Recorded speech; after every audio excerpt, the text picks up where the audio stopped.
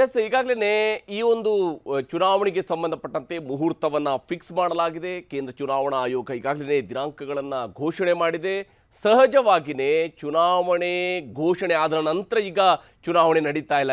ಬಹುತೇಕ ಚುನಾವಣೆ ಘೋಷಣೆಗೂ ಮುಂಚಿತವಾಗ್ಲೇ ಚುನಾವಣೆಯ ತಯಾರಿಗಳು ನಡೀತಿರುತ್ತೆ. ಬಿ ಜೆ ಪಿ ಆಲ್ರೆಡಿ ತನ್ನ ಅಭ್ಯರ್ಥಿಗಳ ಪಟ್ಟಿಯನ್ನು ಘೋಷಣೆ ಮಾಡಿ ಆಗಿತ್ತು.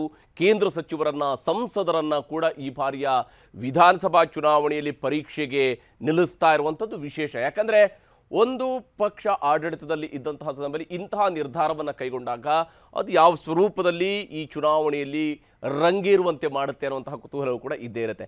ಎಲ್ಲ ವಿಚಾರದ ಬಗ್ಗೆ ಮಾತನಾಡೋದಕ್ಕೆ ನಮ್ಮ ಜೊತೆಗೆ ಅತಿಥಿಗಳು ಕೂಡ ಜಾಯ್ನ್ ಆಗಿದ್ದಾರೆ. ಕಾಂಗ್ರೆಸ್ನ ವಕ್ತಾರರಾಗಿರುವ ರಮೇಶ್ ಬಾಬು ಅವರು ಈ ಕಾರ್ಯಕ್ರಮದಲ್ಲಿ ಜಾಯ್ನ್ ಆಗಿದ್ದಾರೆ. ಹಾಗೆಯೇ ಬಿಜೆಪಿಯ ರಾಜ್ಯ ಘಟಕದ ಉಪಾಧ್ಯಕ್ಷರಾಗಿರುವಂತಹ ಜಗದೀಶ್ ಹಿರೇಮನಿ ಅವರು ಕಾರ್ಯಕ್ರಮದಲ್ಲಿ ಜಾಯ್ನ್ ಆಗಿದ್ದಾರೆ. ಜೆ ಡಿ ಎಸ್ನ ವಕ್ತಾರರಾಗಿರುವ ಚರಣ್ ಗೌಡ ನಮ್ಮ ಜೊತೆಗೆ ಈ ಕಾರ್ಯಕ್ರಮದಲ್ಲಿದ್ದಾರೆ. ಹಾಗೆಯೇ ಭಾರತೀಯ ಜನತಾ ಪಕ್ಷದ ಶಾಸಕರಾಗಿರುವಂತಹ ಮಹೇಶ್ ತೆಂಗಿನಕಾಯಿ ಅವರು ಕೂಡ ನಮ್ಮ ಜೊತೆಗೆ ಮುಂದಿನ ಹಂತದಲ್ಲಿ ಈ ಕಾರ್ಯಕ್ರಮದಲ್ಲಿ ಜಾಯ್ನ್ ಆಗ್ತಾರೆ ಹುಬ್ಬಳ್ಳಿಯಿಂದ. ಹಾಗೆಯೇ, ದಿ ನ್ಯೂ ಇಂಡಿಯನ್ ಎಕ್ಸ್ಪ್ರೆಸ್ನ ಹಿರಿಯ ಸಹಾಯಕ ಸಂಪಾದಕರಾಗಿರುವ ಶಿವಕುಮಾರ್ ಅವರು ನಮ್ಗೆ ಈ ಕಾರ್ಯಕ್ರಮದಲ್ಲಿ ಮೈಸೂರಿನಿಂದ ಜಾಯ್ನ್ ಆಗ್ತಾರೆ. ಅತಿಥಿಗಳ ಜೊತೆಗೆ ಮಾತನ್ನು ಆರಂಭಿಸುವುದಕ್ಕಿಂತ ಮುಂಚಿತವಾಗಿ ಈ ಒಂದು ಸೆಮಿಫೈನಲ್ಗೆ ಸಂಬಂಧಪಟ್ಟಂಥ ಒಂದು ರಿಪೋರ್ಟ್ ಅನ್ನು ಮೊದಲಿಗೆ ನೋಡೋಣ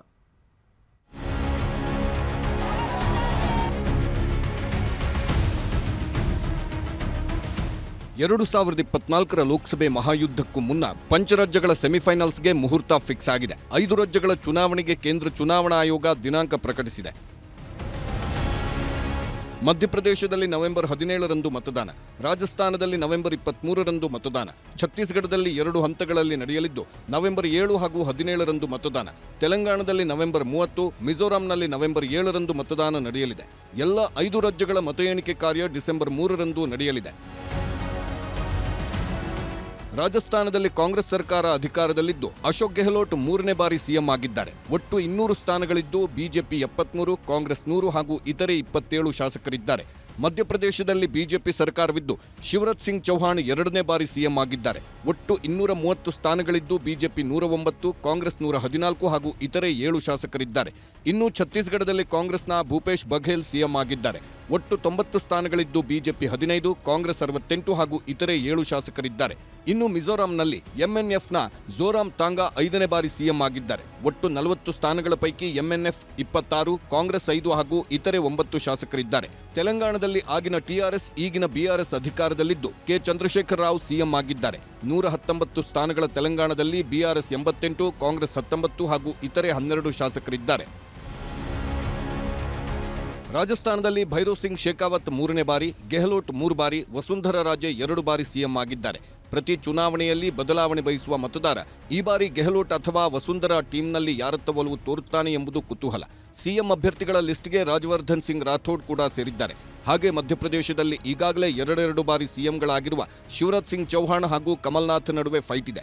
ಆದರೆ ಶಿವರಾಜ್ ಸಿಂಗ್ ಚೌಹಾಣ್ ಸಿಎಂ ಅಭ್ಯರ್ಥಿ ಎಂದು ಇನ್ನೂ ಘೋಷಿಸಿದ ಹೈಕಮಾಂಡ್ ನರೇಂದ್ರ ಸಿಂಗ್ ತೋಮರ್ ಕಡೆ ಒಲವು ತೋರಿದೆ. ಈಗಾಗಲೇ ಟಿಕೆಟ್ ಕೂಡ ಘೋಷಣೆ ಮಾಡಿದೆ. ಇನ್ನು ಛತ್ತೀಸ್ಗಢದಲ್ಲಿ ಕಾಂಗ್ರೆಸ್ನ ಭೂಪೇಶ್ ಬಘೇಲ್ ಹಾಗೂ ಬಿಜೆಪಿಯ ರಮಣ್ ಸಿಂಗ್ ನಡುವೆ ಫೈಟ್. ಮಿಜೋರಾಂನಲ್ಲಿ ಎಂಎನ್ಎಫ್ನ ಜೋರಾಮ್ ತಾಂಗಾ ಹಾಗೂ ಕಾಂಗ್ರೆಸ್ನ ತನ್ಹಾವ್ಲಾ ನಡುವೆ ಫೈಟ್ ಇದೆ. ಇನ್ನು ಪ್ರತ್ಯೇಕ ರಾಜ್ಯ ರಚನೆಯಾದ ಬಳಿಕ ತೆಲಂಗಾಣದಲ್ಲಿ ನಡೆದಿರುವ ಎರಡೂ ಚುನಾವಣೆಗಳಲ್ಲಿ ಗೆದ್ದ ಟಿಆರ್ಎಸ್ನ ಕೆ ಚಂದ್ರಶೇಖರ ರಾವ್ ಸಿಎಂ ಆಗಿದ್ರು.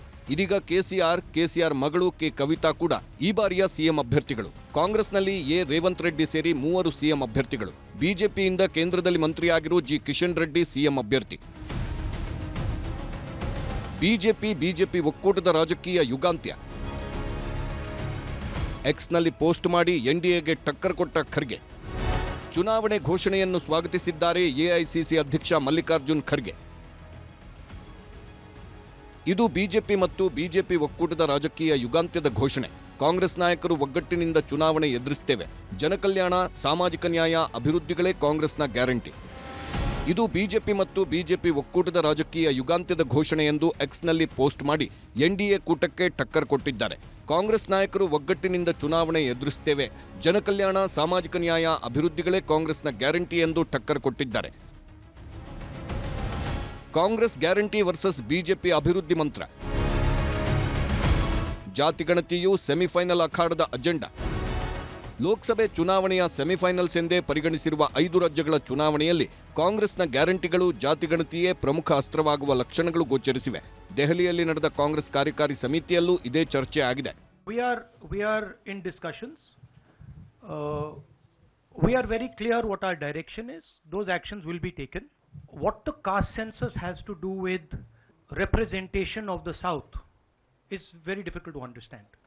Now, the problem is that the Prime Minister is incapable of doing the caste census. ಐದು ರಾಜ್ಯಗಳ ಚುನಾವಣೆ ಘೋಷಣೆ ಆಗುತ್ತಲೇ ಬಿಜೆಪಿ ಅಭ್ಯರ್ಥಿಗಳ ಪಟ್ಟಿ ರಿಲೀಸ್ ಮಾಡಿದೆ. ಛತ್ತೀಸ್ಗಢಕ್ಕೆ ಅರವತ್ನಾಲ್ಕು ಅಭ್ಯರ್ಥಿಗಳು ರಾಜಸ್ಥಾನದ ನಲವತ್ತೊಂದು ಅಭ್ಯರ್ಥಿಗಳ ಲಿಸ್ಟ್ ಬಿಡುಗಡೆ ಮಾಡಿದೆ. ರಾಜವರ್ಧನ್ ಸಿಂಗ್ ರಾಠೋಡ್ ಜೋತ್ವಾರದಿಂದ ಕಣಕ್ಕೆ ಇಳಿಯಲಿದ್ದಾರೆ. ಮಧ್ಯಪ್ರದೇಶದ ಐವತ್ತೇಳು ಅಭ್ಯರ್ಥಿಗಳ ಲಿಸ್ಟ್ ರಿಲೀಸ್ ಮಾಡಿದ್ದು ಶಿವರಾಜ್ ಸಿಂಗ್ ಚೌಹಾಣ್ಗೂ ಟಿಕೆಟ್ ನೀಡಲಾಗಿದೆ. ಹೀಗೆ ಈ ಒಂದು ಚುನಾವಣೆಗೆ ಸಂಬಂಧಪಟ್ಟಂತೆ, ಪಂಚರಾಜ್ಯಗಳ ಚುನಾವಣೆಗೆ ಸಂಬಂಧಪಟ್ಟಂತೆ ಪಕ್ಷಗಳ ತಯಾರಿ ಬಹಳ ಜೋರಾಗಿ ನಡೆದಿದೆ. ನಮ್ಮಲ್ಲಿ ಹಿಂದೆಲ್ಲ ಚುನಾವಣೆ ಘೋಷಣೆ ಆದ ನಂತರ ಅಭ್ಯರ್ಥಿಗಳ ಪಟ್ಟಿ ಬಿಡುಗಡೆ ಮಾಡುವಂತಹ ವಾಡಿಕೆ ಇತ್ತು. ಇತ್ತೀಚಿನ ವರ್ಷಗಳಲ್ಲಿ ಅವೆಲ್ಲವೂ ಕೂಡ ಬದಲಾಗಿದ್ದಾವೆ. ಚುನಾವಣೆಯ ರಣತಂತ್ರ ಬಹುತೇಕ ಆರು ತಿಂಗಳ ಮೊದಲೇ ರೆಡಿ ಆಗುತ್ತೆ. ಮೂರು ತಿಂಗಳಿಗಿಂತ ಮುಂಚಿತವಾಗಿ ಅಭ್ಯರ್ಥಿಗಳ ಘೋಷಣೆ ಆಗುತ್ತೆ. ಕನಿಷ್ಠ ಎರಡು ತಿಂಗಳ ಮುಂಚೆ ಅಂತೂ ಹಾಗೇ ಆಗುತ್ತೆ ಅನ್ನುವಂತಹ ನಿಯಮಗಳೆಲ್ಲವೂ ಕೂಡ ಜಾರಿಯಾಗಿದ್ದಾವೆ. ಹೀಗಾಗಿ ಚುನಾವಣೆ ಪ್ರಕ್ರಿಯೆಗಳು ಮಾತ್ರ ಈಗ ನಡೆಯುವಂಥದ್ದು. ಆಲ್ಮೋಸ್ಟ್ ಆಲ್ರೆಡಿ ಅಖಾಡದಲ್ಲಿರುವಂತಹ ಅ, ರಾಜಕೀಯ ಪಕ್ಷಗಳು ತಮ್ಮದೇ ಆದಂತಹ ರಣತಂತ್ರವನ್ನು ರೂಪಿಸಿ ಆಗಿದ್ದಾರೆ ಹಾಗಿದ್ರೆ ಸೆಮಿಫೈನಲ್ ಗೆಲ್ಲೋದು ಯಾರು ಅನ್ನುವಂತಹ ಪ್ರಶ್ನೆಯೂ ಕೂಡ ಇದೆ ನಾನು ಚರ್ಚೆಯನ್ನು ಆರಂಭಿಸ್ತೀನಿ. ಜಗದೀಶ್ ಹಿರೇಮನಿಯವರ ಮೂಲಕ. ಬಿಜೆಪಿಯ ದೃಷ್ಟಿಯಿದ್ದ ಜಗದೀಶ್ ಅವರೇ. ಇವತ್ತು ಪಂಚರಾಜ್ಯಗಳ ಚುನಾವಣೆ ಆಯೋಗ ಘೋಷಣೆ ಮಾಡಿದೆ. ಅದನ್ನು ಇಡೀ ದೇಶ, ಎಲ್ಲ ಪಕ್ಷಗಳು ಸ್ವಾಗತ ಮಾಡಿದ್ದಾವೆ. ಒಂದು ದೇಶದ ಚುನಾವಣೆಗೂ ಮತ್ತು ಆಯಾ ರಾಜ್ಯಗಳ ಚುನಾವಣೆಗೂ ತುಂಬ ವ್ಯತ್ಯಾಸಗಳಿರುತ್ತೆ ಇವತ್ತು ನೀವು ಹೇಳಿದಾಗೆ ಇದು ಸೆಮಿಫೈನಲ್ ಚುನಾವಣೆ, ಈ ಪಂಚರಾಜ್ಯಗಳ ಚುನಾವಣೆ ಅನ್ನುವಂಥದ್ದು ಟೈಟಲನ್ನು ನೀವಲ್ಲಿ ಕೊಟ್ಟಿದ್ದೀರಿ.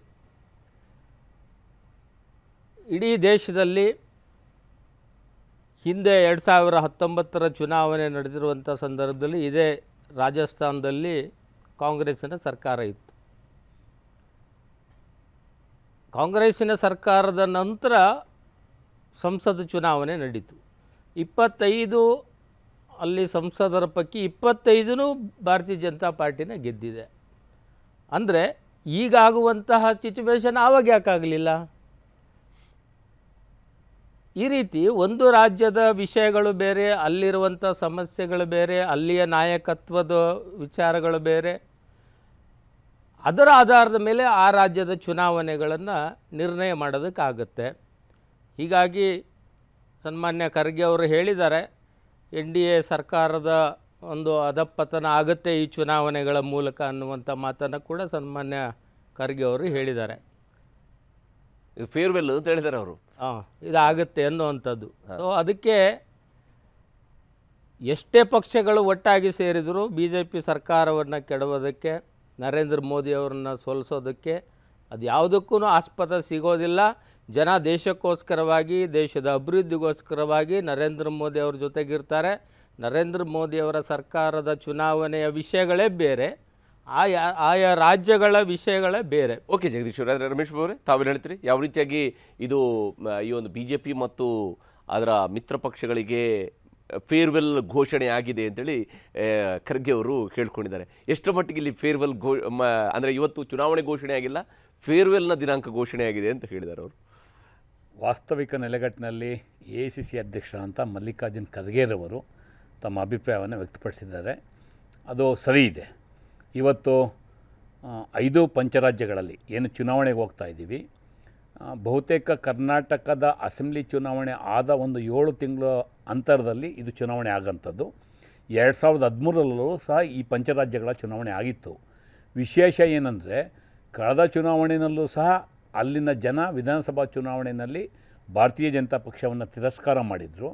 ನನ್ನ ಸ್ನೇಹಿತರು ಜಗದೀಶ್ ಅವರು ಹೇಳ್ದಂಗೆ ಪಾರ್ಲಿಮೆಂಟಲ್ಲಿ ಅವ್ರಿಗೆ ಅಪ್ಪರ್ ಎಂಡ್ ಆಗಿತ್ತು, ಇಲ್ಲ ಅಂತ ಹೇಳೋದಿಲ್ಲ. ಆದರೆ ಇವತ್ತು ಬದಲಾದಂಥ ರಾಜಕೀಯ ಪರಿಸ್ಥಿತಿ ಪರಿಸ್ಥಿತಿನಲ್ಲಿ ಎರಡು ಸಾವಿರದ ಹದಿಮೂರರಲ್ಲಿ ಯಾವ ರೀತಿ ಭಾರತೀಯ ಜನತಾ ಪಕ್ಷ ಈ ಐದು ರಾಜ್ಯಗಳಲ್ಲಿ ತಿರಸ್ಕಾರಕ್ಕೆ ಒಳಗಾಗಿತ್ತು, ಅದರ ಮುಂದುವರೆದ ಭಾಗ ಇವತ್ತು ಮತ್ತೆ, ಇವತ್ತು ಮಧ್ಯಪ್ರದೇಶ ಇರ್ಬೋದು, ರಾಜಸ್ಥಾನ ಇರ್ಬೋದು, ಮಿಜೋರಾಂ ಇರ್ಬೋದು, ಛತ್ತೀಸ್ಗಢ ಇರ್ಬೋದು, ತೆಲಂಗಾಣ ಇರ್ಬೋದು, ಎಲ್ಲ ಕಡೆ ಭಾರತೀಯ ಜನತಾ ಪಕ್ಷವನ್ನು ತಿರಸ್ಕಾರ ಮಾಡುವಂಥ ಸಂದರ್ಭ ನಿಚ್ಚಳವಾಗಿ ಕಾಣ್ತಾ ಇದೆ. ವಿಶೇಷವಾಗಿ ತೆಲಂಗಾಣ. ಅಲ್ಲಿ ಬಿ ಜೆ ಪಿಗೆ ಅಸ್ತಿತ್ವ ಇಲ್ಲ. It is a fight between B R S as well as Congress party ಮಿಜೋರಾಮಿಗೆ ಬನ್ನಿ ಅಲ್ಲಿ Mizoram National Front versus Congress party ಎರಡು ಸಾವಿರದ ಹದಿನೆಂಟರಲ್ಲಿ ಮಿಜೋರಾಂ ನ್ಯಾಷನಲ್ ಫ್ರಂಟ್ ಅಧಿಕಾರಕ್ಕೆ ಬಂತು ಎರಡು ಸಾವಿರದ ಹದಿಮೂರರಲ್ಲಿ ಔಟ್ ಆಫ್ ಫಾರ್ಟಿ ಕಾಂಗ್ರೆಸ್ ಪಕ್ಷ ಮೂವತ್ತೈದು ಸ್ಥಾನ ಗೆದ್ದಿತ್ತಲ್ಲಿ ಇವತ್ತು ರಾಜಸ್ಥಾನಕ್ಕೆ ಬನ್ನಿ ಅಲ್ಲಿ ನೆಕ್ ಟು ನೆಕ್ ಫೈಟ್ ಇದೆ as admitted by the Congress party leader Rahul Gandhi ಅಲ್ಲಿ ನೆಕ್ ಟು ನೆಕ್ ಫೈಟ್ ಇದೆ even though we are having hopes we are going to come back to the power ಮಧ್ಯಪ್ರದೇಶದಲ್ಲಿ ಸುಮಾರು ಕಾಂಗ್ರೆಸ್ ಪಕ್ಷದ ಇಪ್ಪತ್ತೆರಡು ಶಾಸಕರನ್ನ purchase ಮಾಡೋದ್ರ ಮೂಲಕಂತ ಮುಖಾಂತರ ಏನು ಕರ್ನಾಟಕದಲ್ಲಿ ಆಪರೇಷನ್ ಕಮಲ ಮಾಡಿದ್ರು. ಅದ್ರ ಮುಂದುವರೆದ ಭಾಗ ಮಧ್ಯಪ್ರದೇಶದಲ್ಲಿ ಮಾಡಿ ಸರ್ಕಾರವನ್ನು ಮಾಡಿದ್ದಾರೆ. ಇವತ್ತು ಸರ್ಕಾರ, ಮಧ್ಯಪ್ರದೇಶದಲ್ಲಿ ನಮಗೆ ವಿಶ್ವಾಸ ಇದೆ. ಔಟ್ ಆಫ್ ಟೂ ತರ್ಟಿ ಕನಿಷ್ಠ ನೂರೈವತ್ತರಿಂದ ನೂರ ಅರವತ್ತು ಸ್ಥಾನ ಗೆಲ್ಲುವಂಥ ವಿಶ್ವಾಸ ಇದೆ. ಅದೇ ರೀತಿ ನೀವು ರಾಜಸ್ಥಾನದಲ್ಲಿ ನಮಗೆ ವಿಶ್ವಾಸ ಇದೆ, ಛತ್ತೀಸ್ಗಢದಲ್ಲಿ ವಿಶ್ವಾಸ ಇದೆ. ನಾನು I I am hoping that ಈ ಪಂಚರಾಜ್ಯದಲ್ಲಿ ಕನಿಷ್ಠ ನಾಲ್ಕು ರಾಜ್ಯಗಳಲ್ಲಿ ಕಾಂಗ್ರೆಸ್ ಪಕ್ಷ ಮತ್ತೆ ಅಧಿಕಾರವನ್ನು ಪಡ್ಕೊಳ್ಳುತ್ತೆ ಅನ್ನೋ ವಿಶ್ವಾಸ. ನಿಚ್ಚಳವಾಗಿ ನಮಗಿದೆ. ಚರಣಗೌಡ್ರೆ ನಿಮ್ಮ ಮಿತ್ರ ಪಕ್ಷ ಇಲ್ಲಿ ಭಾಳ ಮುಖ್ಯವಾಗಿರುವಂಥದ್ದು. ಎಷ್ಟು ಮಟ್ಟಿಗೆ ಗೆಲ್ತಾರೆ ಅಂತೇಳಿ ವಿಶ್ವಾಸ ಇದೆ? ನೋಡಿ ಈಗ ಆಲ್ರೆಡಿ ವ್ಯಾಖ್ಯಾನ ಮಾಡಿದ್ದಾರೆ ಲೋಕಸಭೆ ಫಾರ್ಮೆಟೇ ಬೇರೆ ವಿಧಾನಸಭೆ ಫಾರ್ಮೆಟೇ ಬೇರೆ ಅಂತ. ರಾಜ್ಯ ವಿಧ, ರಾಜ್ಯ ವಿಧಾನಸಭೆಯಲ್ಲಿ ಹೋದ ಸಲ ಮೂರಕ್ಕೆ ಮೂರು ಗೆದ್ದಿದ್ದರು ಛತ್ತೀಸ್ಗಢ ಗೆದ್ದಿದ್ದರು ಮಧ್ಯಪ್ರದೇಶ ಗೆದ್ದಿದ್ದರು ರಾಜಸ್ಥಾನ ಗೆದ್ದಿದ್ರು. ಮೂರರಲ್ಲೂ ಸೇರಿ ನಾಲ್ಕು ಸೀಟ್ ಬಂದಿತ್ತು ಅವ್ರಿಗೆ. ಹಾಗಾಗಿ ಇವತ್ತು ಆಲ್ರೆಡಿ ಎಷ್ಟೊಂದು ಸಮೀಕ್ಷೆಗಳು ಆಲ್ರೆಡಿ ಬಂದ್ಬಿಟ್ಟಿದೆ. ಈ ದೇಶದಲ್ಲಿ ಮತ್ತೊಮ್ಮೆ ಇದು ಪ್ರಧಾನಮಂತ್ರಿಯಾಗಿ ಮೋದಿ ಅವರು ಬರ್ತಾರೆ ಅಂತ. ಇನ್ನೂರ ಎಂಬತ್ತೇಳು ಸೀಟ್ಗಳು ತೊಗೊಳೋದ್ರ ಮೂಲಕ ಅಂದ್ಬಿಟ್ಟು ಸುಮಾರು ಸರ್ವೆಗಳು ನಾವೇ ಕೆಲವಾರು ವಾಹಿನಿಗಳಲ್ಲಿ ನಾವು ಇದು ಡಿಬೇಟ್ ಮಾಡಿದ್ದೀವಿ ಆಲ್ರೆಡಿ ಹಾಗಾಗಿ ಇವತ್ತು ರಾಜಸ್ಥಾನದಲ್ಲಿ ಆಡಳಿತ ಇದು ವಿರೋಧಿ ಅಲೆ ಇದೆ ಅವ್ರಿಗೆ. ಛತ್ತೀಸ್ಗಢದಲ್ಲಿ ರಾ, ಆಡಳಿತ ವಿರೋಧಿ ಅಲೆ ಇದೆ. ಅಫ್ಕೋರ್ಸ್ ಇದು ಮ, ಇದು ಮಧ್ಯಪ್ರದೇಶದಲ್ಲಿ ಸತತವಾಗಿ ನಾಲ್ಕು ಟರ್ಮು ಬಿ ಜೆ ಪಿ ಇರೋದ್ರಿಂದ. ಸ್ವಲ್ಪ ಮಟ್ಟಿಗೆ ಕಾಂಗ್ರೆಸ್ಗೆ ಅಲ್ಲೇನೋ ಒಂಚೂರು ಈ ಸಲ ಫೇರಾಗಿ ಬರೋ ಅಂಥ ಚಾನ್ಸಸ್ ಇದೆ. ತೆಲುಗು ಇದು ಇನ್ನು ತೆಲಂಗಾಣದಲ್ಲಿ ಕಾಂಗ್ರೆಸ್ ಹತ್ತೊಂಬತ್ತು ಸೀಟ್ ಇರೋದನ್ನ ಇಪ್ಪತ್ತು, ಇಪ್ಪತ್ತೆರಡು ಮಾಡ್ಕೊಬೋದು. ಮಿಜೋರಾಮಲ್ಲಿ ಹೇಳೋಕ್ಕಾಗೋದಿಲ್ಲ, ಏನು ಏನು ಪರಿಸ್ಥಿತಿ ಇದೆ ಅಂತ. ಹಾಗಾಗಿ ಒಂದು ಅಥವಾ ಎರಡು ರಾಜ್ಯ ಸಿಗ್ಬೋದು. ಸಿಕ್ಕಿದ ತಕ್ಷಣ ಲೋಕಸಭೆ ಗೆಲ್ತೀವಿ ಅನ್ನೋದು ಅಷ್ಟು ಈಸಿ ಕೆಲಸ ಏನಲ್ಲ. ಇವತ್ತು ಕರ್ನಾಟಕದಲ್ಲೇ ಅವ್ರು ನೂರ ಮೂವತ್ತೈದು ಸೀಟ್ ಇಟ್ಕೊಂಡು, ಇವತ್ತು ನಾವು ಎಂಟು ಸೀಟ್ ಗೆಲ್ತೀವಿ, ಹತ್ತು ಸೀಟ್ ಗೆಲ್ತೀವಿ ಅಂತ ಹೇಳ್ತಾ ಇರೋ ಕಾಂಗ್ರೆಸ್ನವರು, ಇನ್ನು ಮೂರು ರಾಜ್ಯಗಳಲ್ಲಿ ಇವತ್ತು ಸಮೀಕ್ಷೆ ಪ್ರಕಾರ ಹೇಳೋದಾದರೆ, ಉತ್ತರ ಪ್ರದೇಶ, ಗುಜರಾತಲ್ಲಿ ನೂರು ಸೀಟ್ ಗೆಲ್ಲಿತಾರೆ ಆ ಸಮೀಕ್ಷೆ ಇವತ್ತು ಎನ್ ಡಿ ಆಗಿರೋದು. ಉತ್ತರ ಪ್ರದೇಶ ಮತ್ತು ಗುಜರಾತು ಎರಡೇ ರಾಜ್ಯದಲ್ಲಿ ನೂರು ಸೀಟ್ ಗೆಲ್ಲುವಂಥ ಫೇರ್ ಚಾನ್ಸಸ್ ಬಿ ಜೆ ಪಿಗಿದೆ ಹೊರತುಪಡಿಸಿ ಬೇಕಾಗಿರೋದು ಇನ್ನೂರ ಎಪ್ಪತ್ತೈದು ಈಗ ಆಲ್ರೆಡಿ ಇನ್ನೂರ ಎಂಬತ್ತೇಳು ಸಮೀಕ್ಷೆನಲ್ಲಿದೆ. ಇನ್ನು ಉಳಿದ ಭಾಗ ಇನ್ನೊಂದು ಐದಾರು ತಿಂಗಳಿದೆ. ಕಾಂಗ್ರೆಸ್ ಇದ್ದೀರಿ. ಇನ್ನ ಮೋದಿ ಅವರಿಗೆ ಶಕ್ತಿಯುತವಾಗೇ ಸಿಗುತ್ತೆ ಹೊರತು. ಹೇಳೋಕ್ಕಾಗೋದಿಲ್ಲ ಏನೋ ಸಣ್ಣ ಪುಟ್ಟ ವ್ಯತ್ಯಾಸ ಆದರೆ ಅತಂತ್ರ ಪರಿಸ್ಥಿತಿ ಬರ್ಬೋದೇನೋ. ಇಲ್ಲ ಅಂದ್ರೆ ಮೋದಿ ಅವರಿಗೆ ಕ್ಲೀನ್ ಮೆಜಾರಿಟಿ ಸಿಗೋಂಥ ಎಲ್ಲ ಚಾನ್ಸಸ್ ಮಾತಾಡ್ತೀನಿ. ಜಗದೀಶ್ ಅವ್ರ ಜೊತೆ ಕೂಡ ಮಾತಾಡ್ತೀನಿ. ಚರ್ಚೆ ನಾವು ಮುಂದುವರಿಸೋಣ. ಶಿವಕುಮಾರ್ ಅವರು ಕೂಡ ಜಾಯ್ನ್ ಆಗಿದ್ದಾರೆ ಅವ್ರ ಜೊತೆ ಕೂಡ ಮಾತಾಡ್ತೀನಿ ಚಿಕ್ಕ ಬ್ರೇಕ್ ನಂತರ.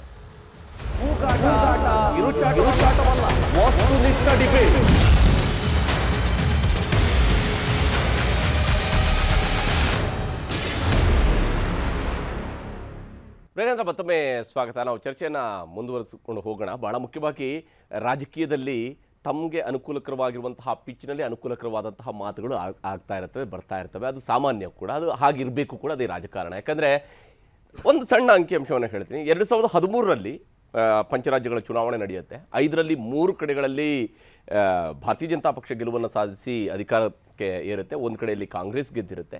ಇನ್ನೊಂದು ಕಡೆಯಲ್ಲಿ ಅಫ್ಕೋರ್ಸ್ ಟಿ ಆರ್ ಎಸ್ ಆ ಚುನಾವಣೆ ಅವಾಗ ನಾಲ್ಕು ರಾಜ್ಯಗಳಲ್ಲಿ ನಡೆದಿತ್ತು. ಯಾಕಂದರೆ ತೆಲಂಗಾಣ ಲೋಕಸಭಾ ಚುನಾವಣೆ ಜೊತೆಗೆ ನಡೆದಿತ್ತು. ಎರಡು ಸಾವಿರದ ಹದಿನಾಲ್ಕರಲ್ಲಿ ನಡೆದಿತ್ತು. ಈ ನಾಲ್ಕರ ಪೈಕಿ ಮೂರರಲ್ಲಿ ಬಿ ಜೆ ಪಿ ಗೆದ್ದಿತ್ತು. ಸೊ ಫೈನಲ್ಗೆ ಇದೇ ಮುನ್ಸೂಚನೆ, ದಿಕ್ಸೂಚಿ ಅಂತೇಳಿ ಎರಡು ಸಾವಿರದ ಹದಿನಾಲ್ಕರ ಲೋಕಸಭಾ ಚುನಾವಣೆ ದೃಷ್ಟಿಯಿಂದ ಅದನ್ನು ಪರಿಗಣಿಸಲಾಗಿತ್ತು. ಎರಡು ಸಾವಿರದ ಹತ್ತೊಂಬತ್ತರ ವಿಚಾರಕ್ಕೆ ಬರ್ತೀನಿ. ಎರಡು ಸಾವಿರದ ಹದಿನೆಂಟರಲ್ಲಿ ಇದೇ ಸೆಮಿಫೈನಲ್ ಐದು ರಾಜ್ಯಗಳಲ್ಲಿ ನಡೆಯುತ್ತೆ. ಅಂದರೆ ತೆಲಂಗಾಣದಲ್ಲಿ ಅವಧಿ ಪೂರ್ವವಾಗಿ ಚುನಾವಣೆ ಹೋಗಿದ್ದರಿಂದಾಗಿ ನಾಲ್ಕರ ಬದಲಿಗೆ ಐದು ರಾಜ್ಯದಲ್ಲಿ ಚುನಾವಣೆ ನಡೆಯುತ್ತೆ. ಆಗ ಮೂರು ಕಡೆಗಳಲ್ಲಿ ಕಾಂಗ್ರೆಸ್ ಅಧಿಕಾರಕ್ಕೆ ಬಂದುಬಿಡುತ್ತೆ. ಒಂದರಲ್ಲಿ ಸಣ್ಣ ಮೆಜಾರಿಟಿಗಿಂತ ಸ್ವಲ್ಪ ಕಡಿಮೆ ಇದ್ದರೂ ಕಷ್ಟಪಟ್ಟು ಅಧಿಕಾರದಲ್ಲಿ ಕೂರುವಂತಹ ಸ್ಥಿತಿ ಇತ್ತು. ಸಣ್ಣ ಪುಟ್ಟ ಪಕ್ಷಗಳ ಜೊತೆ ಸೇರಿ ಮೆಜಾರಿಟಿ ಅಂತೂ ಸಿಂಗಲ್ ಲಾರ್ಜೆಸ್ಟ್ ಪಾರ್ಟಿ ಆಗಿದ್ದಂಥದ್ದು ಕಾಂಗ್ರೆಸ್ ಮೂರು ಕಡೆಯಲ್ಲಿ ಅಧಿಕಾರಕ್ಕೆ ಬರ್ತಾರೆ. ಆಗ್ಲೇ ಚರಣಗೌಡರು ಒಂದು ಲೆಕ್ಕವನ್ನು ಹೇಳಿದರು. ಈ ಮೂರು ರಾಜ್ಯಗಳಲ್ಲಿ ಸೇರಿ ಬಂದಿರೋದು ನಾಲ್ಕು ಲೋಕಸಭಾ ಸೀಟು ಅಂತೇಳಿ ಅಂದರೆ ಲೋಕಸಭಾ ಸೀಟ್ಗೂ ಎಲೆಕ್ಷನ್ಗೂ ಇದಕ್ಕೂ ಹೇಗೆ ವ್ಯತ್ಯಾಸ ಇದೆ ಅನ್ನೋಂಥ ಕ್ಲೈಮ್ ಕೂಡ ಬಿ ಜೆ ಪಿ ಕಡೆಯಿಂದ ಕೂಡ ಇದು ಬರುತ್ತೆ. ಹದಿನಾಲ್ಕರಲ್ಲಿ ಆದರೆ ಅದು ಫೈನಲ್ನ ದಿಕ್ಸೂಚಿ, ಹತ್ತೊಂಬತ್ತರಲ್ಲಿ ಆದರೆ ಅದು ಆಗಿರಲಿಲ್ಲ, ಇಪ್ಪತ್ನಾಲ್ಕರಲ್ಲೂ ಅದು ಆಗಲ್ಲ ಅನ್ನೋಂಥ ವಿಶ್ವಾಸದಲ್ಲಿ ಬಿ ಜೆ ಪಿಯವರು ಇದ್ದಾರೆ. ಅಥವಾ ನಾವು ಸೆಮಿಫೈನಲ್ ಕೂಡ ಗೆಲ್ತೀವಿ ಅನ್ನೋಂಥ ವಿಶ್ವಾಸದಲ್ಲೂ ಕೂಡ ಅವರು ಇದ್ದಾರೆ. ಎಸ್, ಚರ್ಚೆ ನಾವು ಮುಂದುವರಿಸೋಣ. ಶಿವಕುಮಾರ್ ಅವರು ಜಾಯ್ನ್ ಆಗಿದ್ದಾರೆ ನನ್ನ ಜೊತೆಗೆ. ಶಿವಕುಮಾರ್ ಅವರೇ ತಮ್ಮ ಪ್ರಕಾರ ಇಲ್ಲಿ ಯಾರು ಏನೇ ಯಾವುದೇ ರೀತಿಯಂಥ ಲೆಕ್ಕಾಚಾರ ಹೇಳ್ತಾ ಇದ್ರು ಕೂಡ. ಒಂದು ಬಹಳ ಮುಖ್ಯವಾಗಿ ಈ ಚುನಾವಣೆಯ ಸಂದರ್ಭದಲ್ಲಿ ಕಾಂಗ್ರೆಸ್ ಕರ್ನಾಟಕದ ಗ್ಯಾರಂಟಿ ಸ್ಕೀಮ್ಗಳನ್ನು ಈಗ ಇತರೆ ರಾಜ್ಯಗಳಲ್ಲಿ ವಿತರಣೆ ಮಾಡ್ತಾ ಇದೆ. ಇತರೆ ರಾಜ್ಯಗಳಲ್ಲಿ ಇದನ್ನು ಹೇಳ್ತಾ ಇದೆ. ಎಷ್ಟರ ಮಟ್ಟಿಗೆ ಕೇವಲ ಗ್ಯಾರಂಟಿ ಮೂಲಕವಾಗಿಯೇ ಕಾಂಗ್ರೆಸ್ಗೆ ಈ ರಾಜ್ಯಗಳಲ್ಲಿ ಚುನಾವಣೆಯನ್ನು ಗೆಲ್ಲೋದಕ್ಕೆ ಸಾಧ್ಯ ಆಗುತ್ತೆ ಅಂತೇಳಿ ತಮಗನ್ಸುತ್ತೆ ನೋಡಿ ಕಾಂಗ್ರೆಸ್ನವರು ಗ್ಯಾರಂಟಿಗಳ ಮೇಲೆ ಚುನಾವಣೆ ಮಾಡೋದ್ರ ಅಡ್ವಾಂಟೇಜಸ್ ಇದೆ. ಅಷ್ಟೇ ಡಿಸ್ಅಡ್ವಾಂಟೇಜ್ ಇದೆ. ಯಾಕೆ ಅಂತಂದ್ರೆ ಇವತ್ತು ಐದು ರಾಜ್ಯಗಳಲ್ಲಿ ಚುನಾವಣೆ ಹೋಗ್ತಾ ಇದ್ದಾರೆ. ನಾಲ್ಕು ರಾಜ್ಯಗಳಲ್ಲಿ ಕಾಂಗ್ರೆಸ್ ಭಾರಿ ಮತ್ತೆ ಬಿಜೆಪಿಗೆ ಪ್ರತಿಸ್ಪರ್ಧಿ ಇರುವಂತ ಒಂದು ಎರಡು ಎರಡು ದೊಡ್ಡ ಪಕ್ಷಗಳಿಗೆ ಇವತ್ತು ಹಣಾಹಣಿ ಆಗ್ತಾ ಇದೆ. ಒಂದು ಗ್ಯಾರಂಟಿ ಮೇಲೆ ವೋಟ್ ಕೇಳ್ಕೊಂಡು ಹೋದ್ರೆ anti incumbency of the sitting government ಅಂದ್ರೆ ಈ- ಯಾರು ಇನ್ಕಮೆಂಟ್ ಗವರ್ನಮೆಂಟ್ ಇದ್ದಾರೆ ಬಿಜೆಪಿ ಅವರು ಆಡಳಿತ ಮಾಡ್ತಾ ಇದ್ದಾರೆ, ಅವರುಗಳ ವಿಚಾರನ ಹೇಳೋದು ಕಡಿಮೆ ಆಗ್ಬಿಡುತ್ತೆ. ನಾವು ನಿಮಗೆ ಬಸ್ ಕೊಡ್ತೀವಿ, ವಿದ್ಯುತ್ ಶಕ್ತಿ ಕೊಡ್ತೀವಿ, ಕೆಲಸ ಕೊಡ್ತೀವಿ ದುಡ್ಡು ಹಾಕ್ತೀವಿ ಅಕೌಂಟ್ಗೆ ಇದನ್ನ ಹೇಳ್ಕೊಂಡು ಹೋದ್ರೆ ಕಾಂಗ್ರೆಸ್ ಇದು ಬಿಜೆಪಿ ಆಡಳಿತದಲ್ಲಿರುವಂತ ಒಂದು ರಾಜ್ಯದಲ್ಲಿ ಐದು ವರ್ಷಗಳಲ್ಲಿ ಅವರ ವಿಫಲಗಳ ಬಗ್ಗೆ ಅವ್ರು ಎಲ್ಲಿ ಫೇಲ್ಯೂರ್ ಆಗಿದ್ರು ಅದ್ರ ಬಗ್ಗೆ ಹೌದು. ಫೋಕಸ್ ಕಡಿಮೆ ಆಗ್ತಾ ಹೋಗುತ್ತೆ. ಅದೊಂದು ಗ್ರೇಟೆಸ್ಟ್ ಡಿಸ್ಅಡ್ವಾಂಟೇಜು ಇವತ್ತು ಕಾಂಗ್ರೆಸ್ಗೆ. ಆಮೇಲೆ ಅದು ಅಡ್ವಾಂಟೇಜು ಬಿಜೆಪಿಗೆ. ಇನ್ನೊಂದು ಎರಡನೇದು ನೀವು ಛತ್ತೀಸ್ಗಢ ತಗೊಳ್ಳಿ. ಅಲ್ಲಿ ಸ್ವಲ್ಪ ಇನ್ಕಮ್ ರೆವಿನ್ಯೂ ಜಾಸ್ತಿ ಮಾಡ್ಕೊಂಡಿದ್ದಾರೆ ಬಿಕಾಸ್ ಆಫ್ ದಿ ಮೈನಿಂಗ್ ತೆಲಂಗಾಣಲ್ಲಿ ತಗೊಂಬನ್ನಿ. ಹೈದ್ರಾಬಾದ್ ಬಿಟ್ರೆ ಬೇರೆ ಎಲ್ಲೂನು ಅವ್ರಿಗೆ ಇನ್ನೊಂದು ಎರಡು ದೊಡ್ಡ ಸಿಟಿಗಳು ಬರ್ತಾ ಇದಾವೆ. ಅಂತ ರಿಸೋರ್ಸಸ್ ಏನಿದೆ ಹೈದ್ರಾಬಾದ್ ಇಡೀ ರಾಜ್ಯನ ಸಾಕ್ಬೇಕು. ಇಲ್ಲಿ ಬೆಂಗಳೂರು ಹೆಂಗ್ ಸಾಕುತ್ತೆ? ಆ ತರ ರಾಜಸ್ಥಾನ್, ಮಧ್ಯಪ್ರದೇಶದಲ್ಲಿ ಎಕನಾಮಿಕಲಿ ಅಂತ ಸೌಂಡ್ ಇರುವಂತ ರಾಜ್ಯಗಳಲ್ಲ. ಈ ತರದ ಒಂದು ಗ್ಯಾರಂಟೀಸ್ನ ಕೊಟ್ಕೊಂಡು ಹೋದ್ರೆ ಆ ರಾಜ್ಯದ ಆರ್ಥಿಕ ಪರಿಸ್ಥಿತಿ ಏನಿದೆ? ಇಲ್ಲಿ ಕರ್ನಾಟಕದಲ್ಲಿ ಇರೋಷ್ಟೇ ಒಂದು ಸದೃಢವಾಗಿ ಅಲ್ಲಿ ಇದೆಯಾ ಯಾಕಂದ್ರೆ ತಮಿಳುನಾಡಲ್ಲಿ ಬಹಳ ದೊಡ್ಡ ಎಕಾನಮಿ ಅದು. ಯಾಕಂದ್ರೆ ರೋಬೋಸ್ಟ್ ಎಕಾನಮಿ ಅಂತಾರೆ. ಆ ತರದ ಒಂದು ತಮಿಳುನಾಡಲ್ಲಿ ಇದೆ ಕರ್ನಾಟಕದಲ್ಲೂ ಅದೇ ತರ ಇರೋದ್ರಿಂದ ಈ ಕೊಡಕ್ಕಾಯ್ತು. ಆದ್ರೆ ಈ ತರದ ಒಂದು ಕಾರ್ಯಕ್ರಮಗಳು ಅಂತ ರಾಜ್ಯಗಳಲ್ಲಿ ಕೊಡಕ್ಕಾಗುತ್ತಾ? ಇಲ್ಲ ಡೆಫಿನೆಟ್ ಆಗಿ. ಯಾಕಂತಂದ್ರೆ ಈ ಚುನಾವಣೆ ಡೆಫಿನೆಟ್ ಆಗಿ ಸೆಮಿಫೈನಲ್ಸ್ ನಾನೇನು ಫೇರ್ವೆಲ್ ಅಂತ ಹೇಳಕ್ ಹೋಗೋದಿಲ್ಲ. ಬಟ್ ಸೆಮಿಫೈನಲ್ ಅಂತೂ ಖಚಿತ. ಯಾಕೆ ಅಂತಂದ್ರೆ ಕಾಂಗ್ರೆಸ್ ಮತ್ತೆ ಬಿಜೆಪಿ ಏನಿದೆ ಇವೆರಡೂ ಇವತ್ತು ಸರ್ವೈವಲ್ ಪ್ರಶ್ನೆ. ಒಂದು Congress it should come back very strongly ಯಾಕಂತಂದ್ರೆ ಇಂಡಿಯಾ ಅಂತ ಒಂದು ಇಪ್ಪತ್ತೆಂಟು ಪಕ್ಷಗಳು ಸೇರ್ಕೊಂಡು ಒಂದು ಬ್ಲಾಕ್ ಮಾಡ್ಕೊಂಡಿರೋದ್ರಲ್ಲಿ ಇವರು ಗೆದ್ರೆ ಇವ್ರ ಬಾರ್ಗೇನಿಂಗ್ ಕೆಪಾಸಿಟಿ ಜಾಸ್ತಿ ಆಗುತ್ತೆ ಕಾಂಗ್ರೆಸ್ಗೆ. ಇವರು ಎಷ್ಟು ರಾಜ್ಯಗಳಲ್ಲಿ ಹಿಡಿತಾರೆ ಅಷ್ಟು ಬಾರ್ಗೇನಿಂಗ್ ಕೆಪಾಸಿಟಿ ಜಾಸ್ತಿ ಆಗುತ್ತೆ ಅವ್ರಿಗೆ ಸೀಟ್ ಹಂಚಿಕೆಯಲ್ಲಿ. ಇನ್ನೊಂದು ಇನ್ನೊಂದ್ರಲ್ಲಿ ಅವರು ಬಾರ್ಗೇನ್ ಮಾಡ್ಬೋದು. ಇನ್ನೊಂದು ಬಿಜೆಪಿನ ಕಾರ್ನರ್ ಮಾಡಬಹುದು ಬಿಜೆಪಿನ ಕಾರ್ನರ್ ಮಾಡಿ ಒಂದು ನ್ಯಾಷನಲ್ ನರೇಟಿವ್ನ ಸೆಟ್ ಮಾಡಬಹುದು ಯಾಕಂತಂದ್ರೆ ಹೋದ್ ಸಾರಿ ಚುನಾವಣೆಯಲ್ಲಿ ಎಂಬತ್ ಮೂರು ಸೀಟಲ್ಲಿ ಬರೀ ನಾಲ್ಕೇ ಸೀಟ್ ಗೆದ್ದಿದ್ದು ಅಂತ ಹೇಳ್ಬೋದು. ಆದ್ರೆ ಹತ್ತು ವರ್ಷಗಳ ಆಡಳಿತ ಆಂಟಿ ಇನ್ಕಮೆನ್ಸಿ ಬಹಳ, ಯಾಕಂತಂದ್ರೆ ಒಂದು ಕಡೆ ಇನ್ಫ್ಲೇಷನ್ ಇನ್ನೊಂದ್ ಕಡೆ ಅನ್ಎಂಪ್ಲಾಯ್ಮೆಂಟ್ ಈ ತರದ ಇಶ್ಯೂಗಳನ್ನ ಇಟ್ಕೊಂಡ್ಬಿಟ್ಟು ಇವತ್ತು ಚುನಾವಣೆಯನ್ನ ಫೇಸ್ ಮಾಡ್ತಾ ಇದ್ದಾರೆ ಜನಕ್ಕೆ, ಸಾಮಾನ್ಯ ಜನರಿಗೆ ಒಂದು ಸಹಜವಾಗಿ ಹತ್ತು ವರ್ಷ ಆಡಳಿತ ಮಾಡಿದ್ರೆ ಅದು ಕಾಂಗ್ರೆಸ್ ಇರ್ಬೋದು, ಬಿಜೆಪಿ ಇರ್ಬೋದು, ಒಂದ್ ಸ್ವಲ್ಪ ವಿರೋಧಿ ಅಲೆ ಇದ್ದೇ ಇರುತ್ತೆ.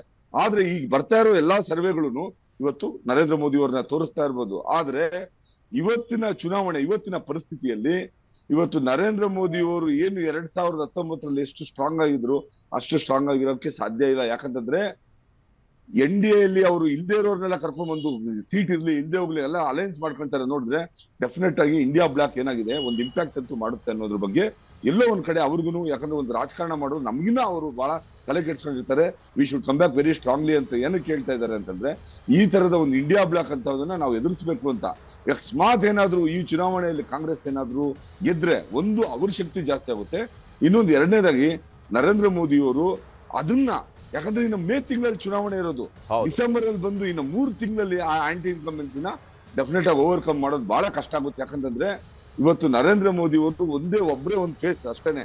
ನೀವು ಅಲ್ಲಿ ಕಲೆಕ್ಟಿವ್ ಲೀಡರ್ಶಿಪ್ ಅಂತೆಲ್ಲ ಮಾತೆಲ್ಲ ಇಲ್ಲ. ಯಾಕಂತಂದ್ರೆ ಇಲ್ಲಿ ಇಂಡಿಯಾ ಬ್ಲಾಕ್ ಅಲ್ಲಿ ಬಹಳಷ್ಟು ಎಷ್ಟು ಜನ ರೀಜನಲ್ ಪಾರ್ಟೀಸ್ ಅಲ್ಲಿರೋ ಲೀಡರ್ ಇದ್ದಾರೆ ಕರ್ನಾಟಕದಲ್ಲಿ ಕುಮಾರಸ್ವಾಮಿ ಅಂತ ಅವ್ರು ಬಿಟ್ರೆ ಬೇರೆ ರಾಜ್ಯಗಳಲ್ಲಿ ಯಾಕಂದ್ರೆ ಎಲ್ಲಾ ಕಡೆನೂ ನರೇಂದ್ರ ಮೋದಿ ಅವರ ಕಾರ್ಯಕ್ರಮ ಮತ್ತೆ ಅವ್ರನ್ನ ನೋಡಿ ಓಟ್ ಕೇಳ್ತಾ ಇದಾರೆ ಇವತ್ತು.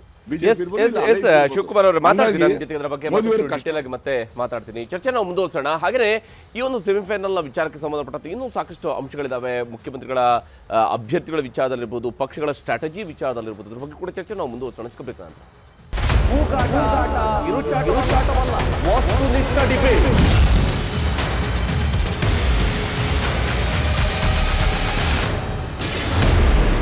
ಇಲ್ಲಿ ಈ ಒಂದು ಸೆಮಿಫೈನಲ್ನ ವಿಚಾರಕ್ಕೆ ಬಂದಾಗ ಗೆಲ್ಲೋದು ಯಾರು ಅನ್ನುವಂಥದ್ರ ಜೊತೆ ಜೊತೆಗೆ ಇನ್ನೊಂದು ಬಹಳ ಮುಖ್ಯವಾಗಿ ನೋಡಬೇಕಾಗಿರುವ ಒಂದು ಅಂಶ, ಲೋಕಸಭಾ ಚುನಾವಣೆಯ ಮೇಲೆ ಇದರ ಇಂಪ್ಯಾಕ್ಟ್ ಏನಿರಬಹುದು, ಏನಿರುತ್ತೆ, ಯಾವ ಸ್ವರೂಪದಲ್ಲಿ ಇರೋದಕ್ಕೆ ಸಾಧ್ಯ ಇದೆ, ಮತ್ತು ಹಿಂದಿನ ಲೆಕ್ಕಾಚಾರದ ಆಧಾರದಲ್ಲೂ ಕೂಡ ನಾವು ಇದನ್ನು ಹೀಗೆ ನೋಡಬೇಕಾಗಿದೆ ಅನ್ನೋಂಥದ್ದು ಅದರ ಬಗ್ಗೆ ಒಂದು ಸಣ್ಣ ವರದಿಯನ್ನು ನಿಮಗೆ ತೋರಿಸ್ತೀನಿ. ಲೋಕಸಭೆ ಚುನಾವಣೆ ಮೇಲಿನ ಇಂಪ್ಯಾಕ್ಟ್ ಏನು? ಎರಡು ಸಾವಿರದ ಹದಿನೆಂಟರಂತೆಯೇ ಆಗುತ್ತಾ? ಈಗ ಬದಲಾಗುತ್ತಾ? ಪಂಚರಾಜ್ಯ ಚುನಾವಣೆಯನ್ನು ಲೋಕಸಭೆ ಫೈನಲ್ನ ಸೆಮಿಫೈನಲ್ ಅಂತಾನೆ ಹೇಳಲಾಗ್ತಿದೆ. ಇಲ್ಲಿನ ರಿಸಲ್ಟ್ ಮೇಲೆ ಎನ್ಡಿಎ ಇಂಡಿಯಾ ಕೂಟಗಳ ರಾಜಕೀಯ ತಂತ್ರಗಾರಿಕೆ ರೂಪುಗೊಳ್ಳಲಿದೆ. ಆದರೆ ಇಲ್ಲಿನ ಫಲಿತಾಂಶ ಲೋಕಸಭೆ ಮೇಲೆ ಬೀರುವ ಸಾಧ್ಯತೆಗಳು ತೀರಾ ಕಡಿಮೆ. ಯಾಕೆಂದರೆ ಎರಡು ಸಾವಿರದ ಹದಿನೆಂಟರ ಚುನಾವಣೆಯನ್ನೇ ನೋಡೋದಾದ್ರೆ ಎರಡು ಸಾವಿರದ ಹದಿನೆಂಟರ ಚುನಾವಣೆಯಲ್ಲಿ ಮಧ್ಯಪ್ರದೇಶದಲ್ಲಿ ಕಾಂಗ್ರೆಸ್ ಅಧಿಕಾರಕ್ಕೆ ಬಂತು. ಆದರೆ ಆಪರೇಷನ್ ಕಮಲದಿಂದ ಕಾಂಗ್ರೆಸ್ ಸರ್ಕಾರ ಬಿದ್ದೋಯ್ತು. ಆದರೆ ಲೋಕಸಭೆ ಚುನಾವಣೆ ಮೇಲೆ ಪ್ರಭಾವ ಬೀರಲೇ ಇಲ್ಲ. ರಾಜಸ್ಥಾನ, ಛತ್ತೀಸ್ಗಢದಲ್ಲಿ ಕಾಂಗ್ರೆಸ್ ಸರ್ಕಾರವೇ ಮೆಜಾರಿಟಿ ತೆಲಂಗಾಣದಲ್ಲಿ ಬಿಆರ್ಎಸ್ ಮಿಜೋರಾಂನಲ್ಲಿ ಎಂಎನ್ಎಫ್ ಬಹುಮತದ ಸರ್ಕಾರ ಮಾಡಿದ್ವು. ಆದರೆ ಕಾಂಗ್ರೆಸ್ ಅಧಿಕಾರಕ್ಕೆ ಬಂದ ರಾಜ್ಯಗಳಲ್ಲೇ ಎರಡು ಸಾವಿರದ ಹತ್ತೊಂಬತ್ತರ ಲೋಕಸಭೆ ಚುನಾವಣೆಯಲ್ಲಿ ಕಾಂಗ್ರೆಸ್ ಸಾಧನೆ ತೀರಾ ಕಳಪೆ ಆಗಿತ್ತು. ಅಂದ್ರೆ ರಾಜ್ಯಗಳ ಚುನಾವಣೆಗೂ, ಲೋಕಸಭೆ ಚುನಾವಣೆಗೂ ಯಾವುದೇ ಪರಿಣಾಮ, ವ್ಯತ್ಯಾಸಗಳು ಆಗೋದಿಲ್ಲ ಅನ್ನೋದು ಇದರ ಸೂಚಕ ಆಗಿತ್ತು. ಸೆಮಿಫೈನಲ್ನಲ್ಲಿ ಇಂಡಿಯಾ ವರ್ಸಸ್ ಎನ್ಡಿಎ ಐದು ರಾಜ್ಯಗಳ ಚುನಾವಣೆ ಮೇಲೆ ಇದೀಗ ಇಂಡಿಯಾ, ಎನ್ಡಿಎ ಕೂಟಗಳ ಕಣ್ಣು ಬಿದ್ದಿದೆ. ಇಲ್ಲಿ ಗೆಲ್ಲೋ ಮೂಲಕ ಫೈನಲ್ ಆಡೋದಕ್ಕೆ ಎರಡೂ ಕೂಟಗಳು ಸ್ಟ್ರಾಟಜಿ ಮಾಡುತ್ತಿವೆ. ಹಾಗಾಗಿ ಘಟಾನುಘಟಿ ನಾಯಕರನ್ನೇ ಕಣಕ್ಕಿಳಿಸಲು ಎರಡೂ ಪಕ್ಷಗಳು ನಿರ್ಧಾರ ಮಾಡಿವೆ. ಬಿಜೆಪಿಯಂತೂ ಹಾಲಿ ಕೇಂದ್ರ ಸಚಿವರು, ಹಾಲಿ ಸಂಸದರನ್ನೇ ನೇರ ಅಖಾಡಕ್ಕೆ ಇಳಿಸಲು ತಯಾರಿ ಮಾಡಿಕೊಂಡಿದೆ. ಹಾಗೆ ಈಗಾಗಲೇ ಟಿಕೆಟ್ ಘೋಷಣೆಯನ್ನು ಮಾಡಿದೆ. ರಾಜಸ್ಥಾನದಲ್ಲಿ ಗಜೇಂದ್ರ ಸಿಂಗ್ ಶೇಖಾವತ್, ಛತ್ತೀಸ್ಗಢದಲ್ಲಿ ರೇಣುಕಾ ಸಿಂಗ್, ತೆಲಂಗಾಣದಲ್ಲಿ ಜಿ. ಕಿಶನ್ ರೆಡ್ಡಿ ಕಣಕ್ಕಿಳಿಯಲಿದ್ದಾರೆ. ಫೈನಲ್ನಲ್ಲಿ ಅಮಿತ್ ಶಾ, ಮೋದಿ ತಂತ್ರಗಾರಿಕೆ. ಶಾ ಮೋದಿ ವ್ಯೂಹ ಭೇದಿಸುತ್ತಾ ಇಂಡಿಯಾ. ಡಿಸೆಂಬರ್ ಮೂರರ ಸೆಮಿಫೈನಲ್ ರಿಸಲ್ಟ್ ಏನೇ ಇದ್ರೂ ಫೈನಲ್ ಆಟವೇ ಬೇರೆ. ಹಿಂದಿ ರಾಜ್ಯಗಳ ಚುನಾವಣೆಗೂ ಪ್ರಾದೇಶಿಕ ಚುನಾವಣೆಗೂ ಭಿನ್ನತೆ ಇರುತ್ತೆ. ನರೇಂದ್ರ ಮೋದಿ, ಅಮಿತ್ ಶಾ ತಂತ್ರಗಾರಿಕೆ ವ್ಯೂಹ ಭೇದಿಸಲು ಪ್ರಬಲ ತಂತ್ರಗಾರಿಕೆಗಳೇ ಬೇಕಾಗುತ್ತೆ. ಅದಕ್ಕಾಗಿ ಇಂಡಿಯಾ ಕೂಟ ಕರ್ನಾಟಕದಲ್ಲಿ ಸಕ್ಸಸ್ ಆಗಿರೋ ಗ್ಯಾರಂಟಿ ಯೋಜನೆಗಳನ್ನು ದೇಶದುದ್ದಕ್ಕೂ ಅಸ್ತ್ರ ಮಾಡಿಕೊಳ್ಳಲು ನಿರ್ಧರಿಸಿದೆ. ಹಾಗೆ ಕಾಂಗ್ರೆಸ್ ಅಧಿಕಾರದಲ್ಲಿರುವ ರಾಜ್ಯಗಳಲ್ಲಿ ಜಾತಿಗಣತಿಯನ್ನು ಜಾರಿಗೆ ತರುವ ಮೂಲಕ ಮತದಾರನನ್ನ ಸೆಳೆಯೋ ಕಸರತ್ತಿಗೆ ಈಗಾಗಲೇ ಮುನ್ನುಡಿ ಬರೆದಿದೆ. ಆದರೆ ಅದು ವರ್ಕೌಟ್ ಆಗುತ್ತಾ? ಸೆಮಿಫೈನಲ್ ಗೆಲ್ಲೋಕೆ ಇದೊಂದೇ ಸಾಕ ಅನ್ನೋ ಪ್ರಶ್ನೆಗಳು ಎದ್ದಿವೆ. ಇಲ್ಲಿ ಈ ಸೆಮಿಫೈನಲ್ ಇದನ್ನು ನಾವು ನೋಡುವಾಗ India versus N D A, I N D I A versus N D A ಅನ್ನುವಂಥ ರೀತಿಯಲ್ಲಿ ಇದ್ರೂ ಕೂಡ ವಾಸ್ತವವಾಗಿ ಬಹಳ ಮುಖ್ಯವಾದಂತಹ ನಾಲ್ಕು ಐದು ರಾಜ್ಯಗಳಲ್ಲೂ ಕೂಡ ಕಾಂಗ್ರೆಸ್ ತನ್ನ ಸ್ವಂತ ಬಲದೊಂದಿಗೆ ಕಣಕ್ಕೆ ಇಳಿದಿರುವಂಥದ್ದು, ಕಣಕ್ಕೆ ಇಳಿತಾ ಇರುವಂಥದ್ದು ಮತ್ತು ಸ್ವಂತ ಶಕ್ತಿಯನ್ನು ಹೊಂದಿರುವಂಥ ರಾಜ್ಯಗಳು. ಬಿ ಜೆ ಪಿಯು ಕೂಡ ಎನ್ ಡಿ ಎಯ ಇತರೆ ಮಿತ್ರ ಪಕ್ಷಗಳ ಮೇಲೆ ನೆಚ್ಚಿಕೊಂಡಿಲ್ಲ. ತನ್ನ ಸ್ವಂತ ಶಕ್ತಿಯ ಮೇಲೇ ಈ ಚುನಾವಣೆಯನ್ನು ಎದುರಿಸ್ತಾ ಇರುವಂಥದ್ದು, ವಿಶೇಷವಾಗಿ ಮೂರು ರಾಜ್ಯಗಳಲ್ಲಿ. ಅದು ರಾಜಸ್ಥಾನ, ಮಧ್ಯಪ್ರದೇಶ ಮತ್ತು ಛತ್ತೀಸ್ಗಢ. ತೆಲಂಗಾಣ ಲೋಕಸಭೆಯಲ್ಲಿ ಒಳ್ಳೆಯ ಪರ್ಫಾರ್ಮೆನ್ಸನ್ನು ಕಳೆದ ಬಾರಿ ಬಿ ಜೆ ಪಿ ಮಾಡಿದೆ. ಯಾಕಂದರೆ ಬಿ ಜೆ ಪಿ ನಿರೀಕ್ಷೆಗಿಂತ ಮೀರಿ ಅಲ್ಲಿ ಫಲಿತಾಂಶವನ್ನು ಪಡ್ಕೊಳ್ಳುವಲ್ಲಿ ಬಿ ಜೆ ಪಿ ಯಶಸ್ವಿಯಾಗಿತ್ತು. ಮಿಜೋರಾಂನಲ್ಲಿ ಅಫ್ಕೋರ್ಸ್ ಅಲ್ಲಿ ಮಿತ್ರ ಪಕ್ಷದ ಹೆಚ್ಚಾಗಿ ನೆಚ್ಚಿಕೊಂಡಿರುವಂಥದ್ದು B J P Mahesh Tenginkai ಅವರು ನಮಗೆ ಜಾಯ್ನ್ ಆಗಿದ್ದಾರೆ ಶಾಸಕರು ಬಿ ಜೆ ಪಿಯ ಶಾಸಕರು. ಮಹೇಶ್ ತೆಂಗಿನಕಾಯಿ ಅವರೇ, ತಾವೇನು ಹೇಳ್ತೀರಿ? ಯಾವ ಸ್ವರೂಪದಲ್ಲಿ ಈ ಬಾರಿಯ ಈ ಒಂದು ಪಂಚರಾಜ್ಯಗಳ ಚುನಾವಣೆಯ ಫಲಿತಾಂಶ ನಿರೀಕ್ಷೆ ಇಟ್ಕೊಂಡಿದ್ರಿ? ಇಂಡಿಯಾ ಒಕ್ಕೂಟ ಎಷ್ಟರ ಮಟ್ಟಿಗೆ ಇಲ್ಲಿ ಎನ್ ಡಿ ಎನ್ನು ಕಟ್ಟಿ ಹಾಕೋದಕ್ಕೆ ಸಾಧ್ಯ ಆಗುತ್ತೆ? ವಿಶೇಷವಾಗಿ ಎ ಐ ಸಿ ಸಿ ಅಧ್ಯಕ್ಷರಾಗಿರುವಂಥ ಮಲ್ಲಿಕಾರ್ಜುನ ಖರ್ಗೆ ಅವರು ಹೇಳಿದ್ದಾರೆ, ಇದು ಚುನಾವಣೆಯ ಘೋಷಣೆ ಅಲ್ಲ, ಇದು ಎನ್ ಡಿ ಎಯ ಫೇರ್ವೆಲ್ನ ಘೋಷಣೆ ಅಂತೇಳಿ ಹೇಳಿದ್ದಾರೆ. ಏನು ಹೇಳ್ತೀರಿ ಇದಕ್ಕೆ?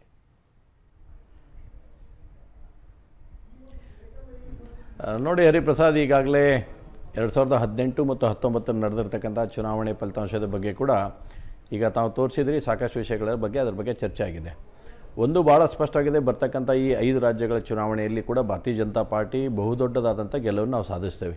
ಇವತ್ತು ಮಧ್ಯಪ್ರದೇಶದಲ್ಲಿ ಭಾಳ ಉತ್ತಮವಾದಂಥ ಆಡಳಿತವನ್ನು ಕೊಟ್ಟು ಇವತ್ತು ಇಡೀ ರಾಜ್ಯದ ಜನತೆಯಲ್ಲಿ ನೋಡ್ತಾ ಇದ್ದಾರೆ. ಭಾಳ ಒಳ್ಳೆ ರೀತಿ ಪರ್ಫಾರ್ಮೆನ್ಸನ್ನು ಅನೇಕ ಸಮೀಕ್ಷೆಗಳು ಕೂಡ ಬಂದಿರತಕ್ಕಂಥದ್ದನ್ನು ಕೂಡ ನೋಡಿದೆ ನಾವು. ಈ ಎಲ್ಲ ಸಮೀಕ್ಷೆಗಳು ನೋಡಿದಾಗ ಮಧ್ಯಪ್ರದೇಶ ಆಗಲಿ, ರಾಜಸ್ಥಾನ ಆಗಲಿ, ಛತ್ತೀಸ್ಗಢದಾಗಲಿ ಭಾಳ ದೊಡ್ಡದಾದಂಥ ಗೆಲುವನ್ನು ಸಾಧಿಸುವಂಥ ನಿಟ್ಟಿನಲ್ಲಿ ಭಾರತೀಯ ಜನತಾ ಪಾರ್ಟಿ ಹೋಗುತ್ತೆ. ತೆಲಂಗಾಣದಲ್ಲಿ ಕೂಡ ಇವತ್ತು ಕಳೆದ ಸಲ ನಾವು ಪರ್ಫಾರ್ಮೆನ್ಸ್ ಮಾಡಿದಾಗ ಕಮ್ಮಿ ಆಗಿದ್ವಿ. ಬಟ್ ಈ ಸಲ ನಾವು ಈಗಾಗಲೇ ಅಲ್ಲಿ ತಯಾರಿಯನ್ನು ನೋಡಿದಾಗ ಒಳ್ಳೆ ರೀತಿಯಾದಂಥ ಸಂಖ್ಯೆಯಲ್ಲಿ ನಾವು ಭಾರತೀಯ ಜನತಾ ಪಾರ್ಟಿ ಗೆಲುವನ್ನು ಸಾಧಿಸುತ್ತೆ ಅನ್ನೋಂಥ ವಿಶ್ವಾಸ ಇದೆ. ಮಿಜೋರಾಂದಲ್ಲಿ ಕೂಡ ನಾವು ಒಳ್ಳೆ ರೀತಿಯಾದಂಥ ಆಗುತ್ತೆ. ಈ ಸೆಮಿಫೈನಲ್ ಮ್ಯಾಚ್ ಅಂದರೂ ಕೂಡ ಭಾರತೀಯ ಜನತಾ ಪಾರ್ಟಿ ಈ ಐದು ರಾಜ್ಯಗಳಲ್ಲಿ ಭಾಳ ಪ್ರಬಲವಾಗಿ ನಾವು ಕಣಕ್ಕಿಳಿದಿದೆ. ಪ್ರಬಲವಾಗಿ ನಾವು ಗೆಲುವನ್ನು ಕೂಡ ನಾವು ಆದ್ರೆ ನೀವು ಹೇಳಿದ್ರಿ ಪ್ರಬಲವಾಗಿ ನಾವು ಕಣಕ್ಕಿಳಿದಿದ್ದೀವಿ. ತುಂಬಾ ಒಳ್ಳೆಯ ಪರ್ಫಾರ್ಮೆನ್ಸ್ ನಮ್ಮ ಸರ್ಕಾರ ಮಾಡಿದೆ. ಆದ್ರೆ ಮಧ್ಯಪ್ರದೇಶದಲ್ಲಿ ಮುಖ್ಯಮಂತ್ರಿಯವರನ್ನ ಶಿವರಾಜ್ ಸಿಂಗ್ ಚೌಹಾಣ್ ಅವ್ರನ್ನ ಕಳೆದ ಮೂರು ಚುನಾವಣೆಗಳ ಸಂದರ್ಭಗಳಲ್ಲಿ ಅವರೇ ಮುಖ್ಯಮಂತ್ರಿ ಅಭ್ಯರ್ಥಿ ಆಗಿರ್ತಿದ್ರು ಆದರೆ ಈ ಬಾರಿ ಅವರಿಲ್ಲ. ಅವರ ಬದಲಿಗೆ ಅಲ್ಲಿ ಒಂದಿಷ್ಟು ಮಂದಿ ಕೇಂದ್ರದ ಸಚಿವರುಗಳನ್ನು ಕಣಕ್ಕಿಳಿಸ್ತಾ ಇದ್ರಿ, ಸಂಸದರುಗಳಿಗೆ ಟಿಕೆಟ್ ಕೊಡ್ತಾ ಇದ್ರಿ. ರಾಜಸ್ಥಾನದಲ್ಲೂ ಕೂಡ ವಸುಂಧರ ರಾಜೇ ಸಿಂಧ್ಯಾ ಎರಡು ಬಾರಿ ಮುಖ್ಯಮಂತ್ರಿ ಆದಂಥವ್ರು ಅವರನ್ನು ಇವತ್ತು ಪಕ್ಕದಲ್ಲಿಟ್ಟು ಅಲ್ಲಿ ಬೇರಿನ್ಯಾರನ್ನೋ ತರುವಂಥ, ಅಂದ್ರೆ ರಾಜ್ಯ ನಾಯಕತ್ವದಲ್ಲಿ ಬದಲಾವಣೆಯನ್ನ ಬಿಜೆಪಿ ಈಗ ಹುಡುಕ್ತಾ ಇದೆಯಾ? ಕರ್ನಾಟಕದ ರೀತಿಯಲ್ಲಿದೆ. ಉಳಿದ ರಾಜ್ಯಗಳಲ್ಲೂ ಕೂಡ ಈ ಬದಲಾವಣೆಯನ್ನ ಮಾಡಿಸೋದ್ರ ಕಡೆಗೆ ಹೆಚ್ಚು ಫೋಕಸ್ ಕೊಡ್ತಾ ಇದೆಯಾ ಅಂತ? ನೋಡಿ ಹರಿಪ್ರಸಾದ್ ಅವರೇ, ಭಾರತೀಯ ಜನತಾ ಪಾರ್ಟಿ ಯಾವಾಗಲೂ ಕೂಡ ಚುನಾವಣೆ ನಡೆದಂಥ ಸಂದರ್ಭದಲ್ಲಿ ಎಲ್ಲ ಅನೇಕ ಚುನಾವಣೆಗಳಲ್ಲಿ ಎಕ್ಸ್ಪೆರಿಮೆಂಟ್ ಬೇಸನ್ನು ನಾವು ಮಾಡೇ ಮಾಡ್ತೇವೆ. ಇಲ್ಲ ಅಂತಲ್ಲ. ಕೇಂದ್ರ ನಾಯಕತ್ವ ಇವತ್ತು ಕರ್ನಾಟಕದಿರಲಿ ಉಳಿದಂಥ ರಾಜ್ಯಗಳ ಚುನಾವಣೆ ನಡೆದಾಗೂ ಕೂಡ ಅನೇಕ ಎಕ್ಸ್ಪೆರಿಮೆಂಟ್ಗಳನ್ನು ಮಾಡುವಂಥದ್ದನ್ನು ನಮ್ಮಲ್ಲಿದೆ. ಯಾವಾಗಲೂ ಕೂಡ ಈ ರೀತಿಯಾದಂಥ ಚುನಾವಣೆ, ಈ ಐದು ರಾಜ್ಯಗಳ ಚುನಾವಣೆ ಬಂದಾಗೂ ಕೂಡ ಈಗೂ ಅನೇಕ ಎಕ್ಸ್ಪೆರಿಮೆಂಟ್ಗಳನ್ನು ನಮ್ಮ ಕೇಂದ್ರ ನಾಯಕತ್ವ ಸನ್ಮಾನ್ಯ ನರೇಂದ್ರ ಮೋದಿಯವರು ಮತ್ತು ಅಮಿತ್ ಶಾ ಅವರ ನೇತೃತ್ವದಲ್ಲಿ ಇವತ್ತು ಜೆ ಪಿ ನಡ್ಡಾ ಅವರು ನಮ್ಮ ರಾಷ್ಟ್ರೀಯ ಅಧ್ಯಕ್ಷರ ನೇತೃತ್ವದಲ್ಲಿ ಅನೇಕ ವಿಷಯಗಳನ್ನು ತೆಗೆದುಕೊಂಡಿದ್ದಾರೆ. ಇದು part of the strategics strategy ಅನ್ಬೋದು, ನಾವು ಪಾಲಿಟಿಕ್ಸ್ನಲ್ಲಿ ಮಾಡಬೇಕಾದಂಥ ಅನೇಕ ವಿಷಯಗಳಿರ್ತಾವೆ. ಅದರ ಅನುಗುಣವಾಗಿ ಇವತ್ತು ಭಾರತೀಯ ಜನತಾ ಪಾರ್ಟಿ ಈ ರೀತಿಯಾದಂಥ ನಿರ್ಧಾರಗಳನ್ನು ತೆಗೆದುಕೊಳ್ಳುತ್ತೆ. ಒಂದು ಒಳ್ಳೆಯ ನಿರ್ಧಾರದ ಬಂದಂಥ ಸಂದ ತೆಗೆದುಕೊಂಡಂಥ ಸಂದರ್ಭದಲ್ಲಿ ಗೆಲುವಿನ ಕಡೆ ಕೂಡ ನಾವು ಹೋಗಲಿಕ್ಕೆ ಭಾಳಷ್ಟು ಅವಕಾಶಗಳು ನಮಗೆ ಸಿಗ್ತಾ ಇದರಲ್ಲಿ. ಆದ್ರೆ- ಆದ್ರೆ ಸಾಮಾನ್ಯವಾಗಿ ಇಂಥದ್ದನ್ನು ಈ ರೀತಿಯಾಗಿ ಕೂಡ ವಿಶ್ಲೇಷಣೆ ಮಾಡ್ತಾರೆ. ಹೌದು, ನೀವು ಪಾರ್ಟಿ ಕಡೆಯಿಂದ ಹೇಳ್ತಾ ಇರುವಂಥ ಸಂದರ್ಭ ಇದು ನಮ್ಮ ಸ್ಟ್ರಾಟಜಿ ಅನ್ನೋಂತ ಹೇಳ್ತೀರಿ ಅಥವಾ ಇದನ್ನು ನಾವು ಸಾಮಾನ್ಯವಾಗಿ ಪ್ರಯೋಗ ಅಂತ ಹೇಳ್ತೀವಿ. ಅಥವಾ ಪ್ರಯೋಗದ ಬದಲಿಗೆ ಇನ್ನೊಂದು ಮಾತಲ್ಲಿ ರಾಜಕೀಯವಾಗಿ ಇದನ್ನು ಹೇಳ್ತಾರೆ, ಚುನಾವಣೆಗೂ ಮುಂಚಿತವಾಗಿಯೇ ಎಲ್ಲೋ ಒಂದು ಕಡೆಯಲ್ಲಿ ಸೋಲಿನ ಭೀತಿ ಕಾಡೋದಕ್ಕೆ ಶುರುವಾಗಿದೆಯೇನೋ ಅನ್ನುವಂಥ ಅನುಮಾನ ಶುರುವಾಗುತ್ತೆ. ಬಹುಶಃ ಬಿಜೆಪಿಗೆ ಅಂಥ ಸ್ಥಿತಿ ಮಧ್ಯಪ್ರದೇಶ ಮತ್ತು ಛತ್ತೀಸ್ಗಢದಲ್ಲಿ ವಿಶೇಷವಾಗಿ. ಎರಡು ರಾಜ್ಯಗಳಲ್ಲಿ ಅಂಥ ಸ್ಥಿತಿ ಕಂಡು ಬರ್ತಾ ಇದೆಯಾ? ಅಂತ ನೋಡಿ ಹರಿಪ್ರಸಾದ್ ಅವರೇ ಯಾವಾಗಲೂ ಭಾರತೀಯ ಜನತಾ ಪಾರ್ಟಿ ನಾವು ಬಹಳ ಸ್ಪಷ್ಟ ಇದ್ದೇವೆ ಇದರಲ್ಲಿ ಸೋಲಿನ ಸ್ಥಿತಿ ಅಂತಕ್ಕಂಥದ್ದು ಯಾವ ಕಾರಣಕ್ಕೂ ಬಂದಿಲ್ಲ ಬರುವಂಥ ಪ್ರಶ್ನೆನೇ ಇಲ್ಲ. ಇವತ್ತು ಮಧ್ಯಪ್ರದೇಶದಲ್ಲಿ ಕೂಡ ಬಹಳ ಉತ್ತಮವಾದಂಥ ಸರ್ಕಾರವನ್ನು ನಾವು ಕೊಟ್ಟಿದ್ದೇವೆ. ಜನರ ಮನ್ನಣೆಯನ್ನು ಗಳಿಸುವಂಥದ್ದಾಗಿದೆ. ರಾಜಸ್ಥಾನದಲ್ಲಿ ಹಾಗಾದರೆ ಇವತ್ತು ಕಾಂಗ್ರೆಸ್ ಪಾರ್ಟಿ ರಾಜಸ್ಥಾನದಲ್ಲಿ ಇರ್ತಕ್ಕಂಥ ಸಂದರ್ಭದಲ್ಲಿ ರಾಜಸ್ಥಾನದಲ್ಲಿ ಕೂಡ ಬಹಳ ದೊಡ್ಡದಾದಂಥ ಪರಿವರ್ತನೆ ಆಗ್ತದೆ. ಇವತ್ತು ಅನೇಕ ಸಮೀಕ್ಷೆಗಳನ್ನು ನಾವು ನೋಡಿದಂಥ ಸಂದರ್ಭದಲ್ಲಿ ಭಾರತೀಯ ಜನತಾ ಪಾರ್ಟಿ ಬಹುದೊಡ್ಡದಾದಂಥ ಗೆಲುವಿನ ಹತ್ರ ದಾಪುಗಾಲಾಗ್ತದೆ ಅಂತಕ್ಕಂಥದ್ದು ಕೂಡ ನಾವು ನೋಡಿದ್ದೇವೆ. ಹೀಗಾಗಿ ರಾಜಸ್ಥಾನ ಆಗಲಿ, ಮಧ್ಯಪ್ರದೇಶ ಆಗಲಿ, ಛತ್ತೀಸ್ಗಢ ಮೂರು ರಾಜ್ಯಗಳಲ್ಲಿ ಭಾರತೀಯ ಜನತಾ ಪಾರ್ಟಿ ಒಂದು ಒಳ್ಳೆಯ ಪರ್ಫಾರ್ಮೆನ್ಸ್ ಮಾಡುವಂಥ ಮುಖಾಂತರ ಸ್ಪಷ್ಟವಾದಂಥ ಬಹುಮತದೊಂದು ಗೆಲ್ತೇವೆ ಅನ್ನುವಂಥ ವಿಶ್ವಾಸ ನಮ್ಗೆ ಹಂಡ್ರೆಡ್ ಪರ್ಸೆಂಟ್ ಇದೆ. ಅದರಲ್ಲಿ ಯಾವುದೇ ರೀತಿಯಾದಂಥ ಸಂಶಯ ಇಲ್ಲ ಅನ್ನೋಂಥದ್ದು ಭಾಳ ಕ್ಲಿಯರ್ ಆಗಿ ಹೇಳ್ತಾ ಆ, ಮಹೇಶ್ ಅವ್ರು ಮಾತಾಡ್ತೀನಿ ನಾನು ನಿಮ್ಮ ಜೊತೆಗೆ. ಆದರೆ ಇಲ್ಲಿ ಬ- ರಮೇಶ್ ಬಾಬು ತಾವೇನು ಹೇಳ್ತೀರಿ? ಅಷ್ಟು ಸುಲಭವಾಗಿ ಗೆಲ್ಲುವಂತಹ ನಿರೀಕ್ಷೆಯನ್ನು ಬಿ ಜೆ ಪಿ ಇಟ್ಕೊಂಡಿರೋದ್ರ ಬಗ್ಗೆ?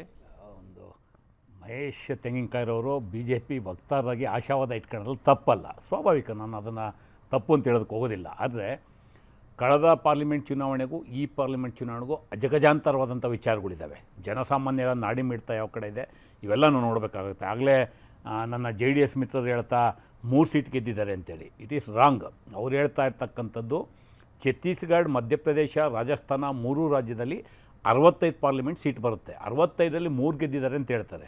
ಬಟ್ ಈ ಪಂಚರಾಜ್ಯ ನಾಲ್ಕು ಆ್ಯಕ್ಚುಲಿ ಅವ್ರು ಮೂರು ಅಂತ ಹೇಳೋದು ಇಲ್ಲಿ. ಈ ಪಂಚರಾಜ್ಯವನ್ನು ನೀವು ತಗೊಂಡಾಗ ಪಂಚರಾಜ್ಯದಲ್ಲಿ ಒಟ್ಟು ಎಂಬತ್ತ್ಮೂರು ಪಾರ್ಲಿಮೆಂಟ್ ಸೀಟ್ ಬರುತ್ತೆ. ಎಂಬತ್ತ್ಮೂರರಲ್ಲಿ ಬಿ ಜೆ ಪಿ ವಿರುದ್ಧ ಗೆದ್ದಿರ್ತಕ್ಕಂಥದ್ದು ಹದಿನೆಂಟು ಸೀಟು ಇನ್ಕ್ಲೂಡಿಂಗ್ ತೆಲಂಗಾಣ. ನಾನು ಹೇಳ್ತಾ ಇರ್ತಕ್ಕಂಥದ್ದು. ಇವತ್ತು ನೀವು ಮಧ್ಯಪ್ರದೇಶ, ರಾಜಸ್ಥಾನ, ಛತ್ತೀಸ್ಗಢ ಇದಕ್ಕೆ ಸೀಮಿತವಾಗಿ. ಛತ್ತೀಸ್ಗಢಲ್ಲಿ ಹನ್ನೊಂದು ಪಾರ್ಲಿಮೆಂಟ್ ಇದೆ, ಮಧ್ಯಪ್ರದೇಶದಲ್ಲಿ ಇಪ್ಪತ್ತೊಂಬತ್ತಿದೆ ರಾಜಸ್ಥಾನದಲ್ಲಿ ಇಪ್ಪತ್ತೈದು ಇದೆ. ನೋ ಡೌಟ್ ಈ ಪಾರ್ಲಿಮೆಂಟ್ ಚುನಾವಣೆಯಲ್ಲಿ ಕಾಂಗ್ರೆಸ್ ಪಕ್ಷ out of sixty five we are going to secure more than thirty five seats ಮೂವತ್ತೈದರಿಂದ ನಲವತ್ತು ಸೀಟು ಈ ಮೂರು ರಾಜ್ಯಗಳಲ್ಲಿ ತಗೋತೀವಿ.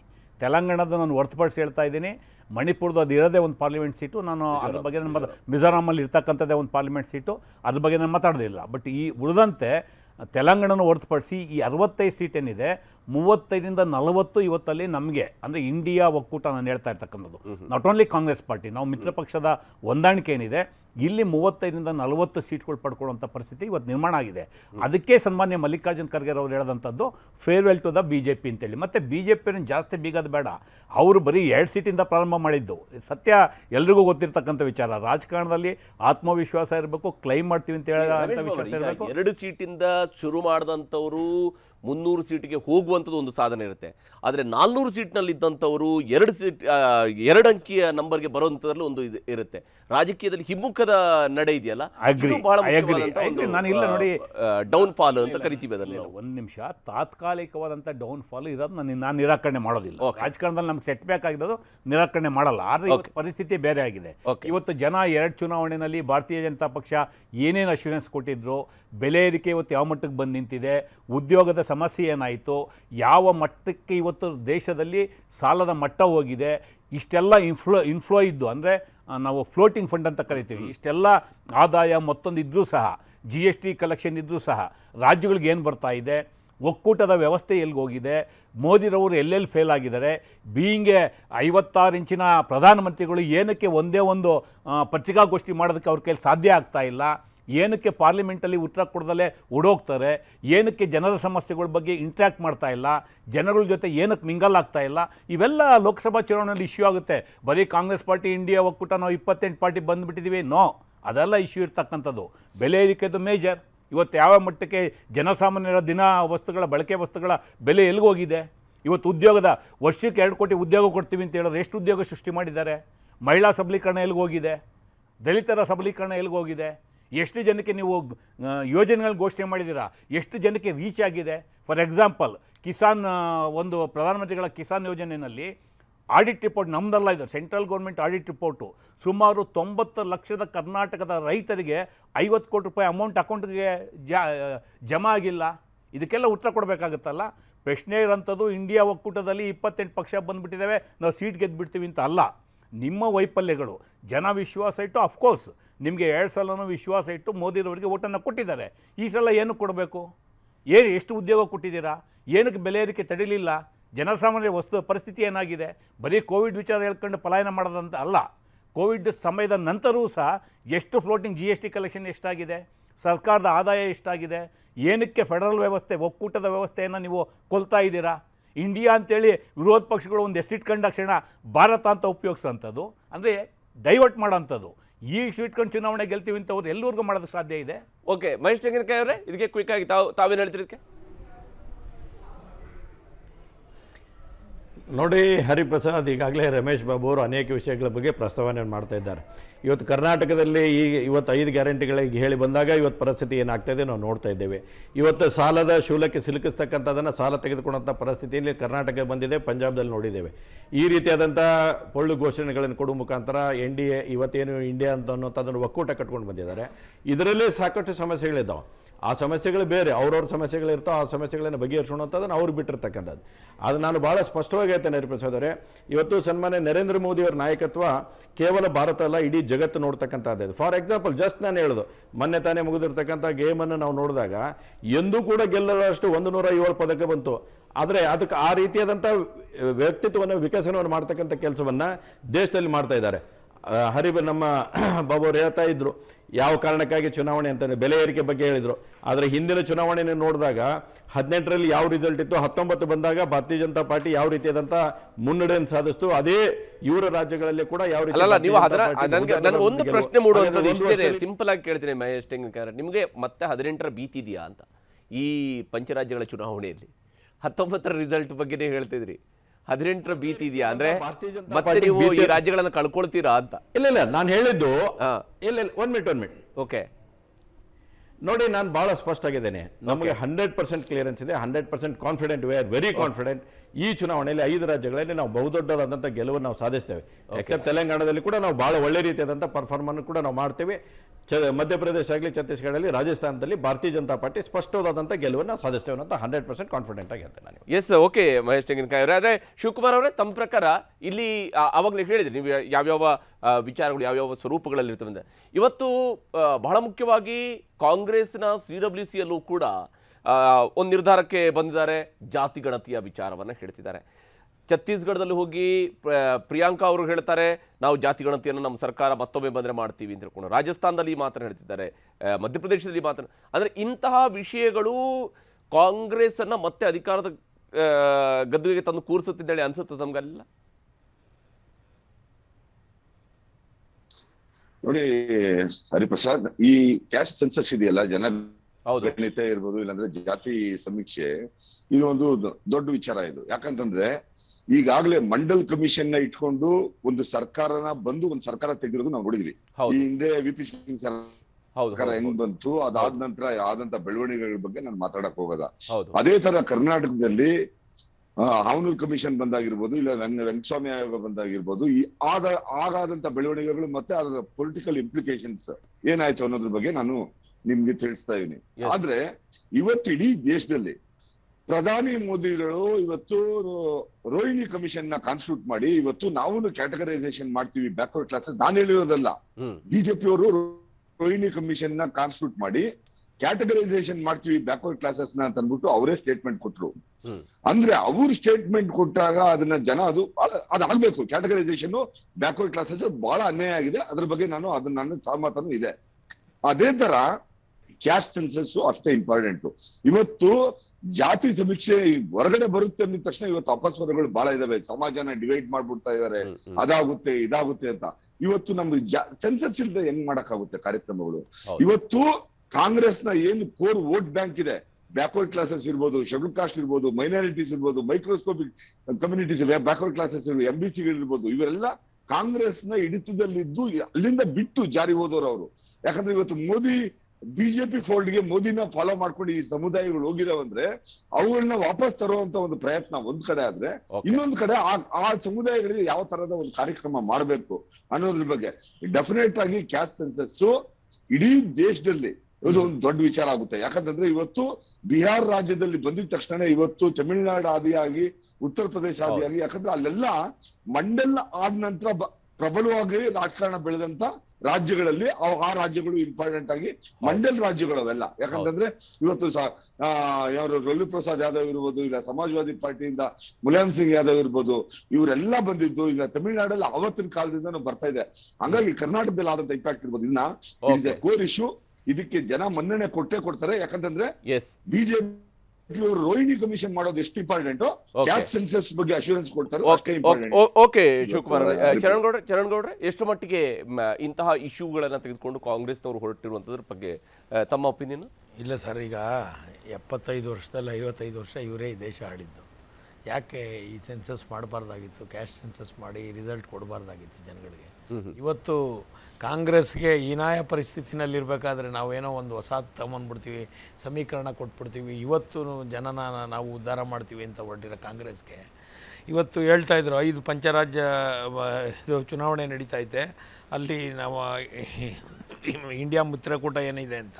ಇಂಡಿಯಾ ಮಿತ್ರಕೂಟನೇ ಇಲ್ಲ ಅಲ್ಲಿ ಎಕ್ಸೆಪ್ಟ್ ಕೇಜ್ರಿವಾಲ್ ಒಂದು ಎರಡು ಮೂರು ಸ್ಟೇಟಲ್ಲಿ ರೆಪ್ರೆಸೆಂಟೇಷನ್ ಬಿಟ್ಟರೆ it is straight fight between J D S sorry Congress and B J P ಅಲ್ಲಿರೋದು.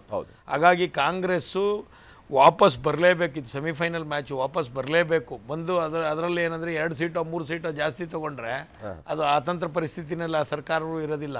ಇವ್ರೇನು ಕ್ಲೇಮ್ ಮಾಡ್ತಾ ಇದ್ದಾರೆ ಇವತ್ತು? ಫುಲ್ operation ಮಾಡ್ತಾರೆ ಅಂತ ವಿಶ್ವಾಸ ನಿಮ್ಗಿದೆ? ಮಾಡೇ ಮಾಡ್ತಾರೆ ಸರ್ ಈಗ ಎಲ್ಲ ಉಳಿಸ್ಕೊಳಕ್ಕಾಗಿ ಕಾಂಗ್ರೆಸ್ಗೆ ಕಳೆದ ಹತ್ತು ವರ್ಷಗಳಿಂದ ಕಾಂಗ್ರೆಸ್ ದೌರ್ಬಲ್ಯ ಏನಂದ್ರೆ ಎಷ್ಟು ಕಡೆ ಸರ್ಕಾರ ಪಡೆದ್ರೋ ಅಷ್ಟೇ ಕಡೆ ಒಂದು ರಾಜ್ಯದ ಉದಾಹರಣೆ ಕೊಡ್ತೀನಿ. ನಮ್ಮ ರಾಜಕೀಯ ಎಷ್ಟು ಅಸಹ್ಯ ಮಟ್ಟಕ್ಕೆ ಹೋಗಿದೆ ಅನ್ನೋದಕ್ಕೆ ನಮ್ಮ ದೇಶದೇ ಒಂದು ರಾಜ್ಯದ ಉದಾಹರಣೆ ಕೊಡ್ತೀನಿ.